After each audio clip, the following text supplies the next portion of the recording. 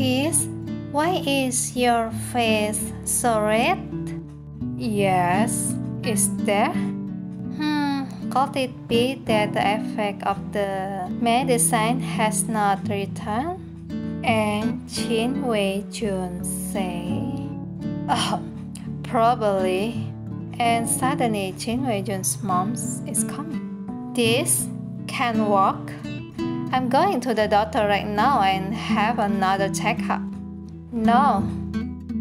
No matter how many checks are done, it takes time to recover.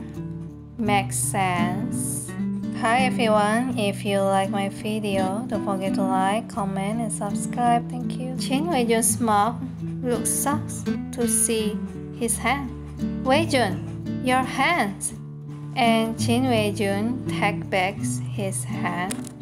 No, are you okay? This is chapter 148. The title is You Should Be Disciplined. Fifi, huh? You go get me some water. Oh, okay. And Fifi get out to have some water. Door. I have something. I want to talk to you. Chin Wei Jun looks seriously about my childhood. An hour later, at another place. Ji Jin Chen, I'm just drunk. I'm not disabled, so I don't need your hug.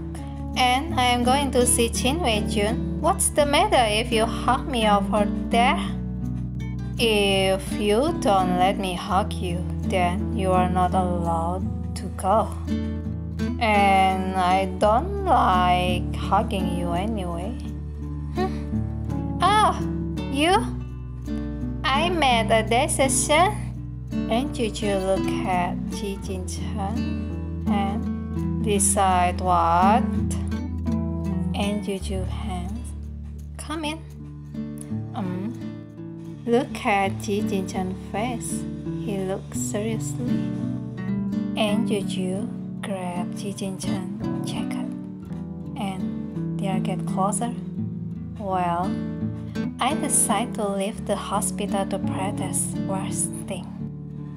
An egomaniac like you The definitely should be fine too. Thanks for watching. See you next video.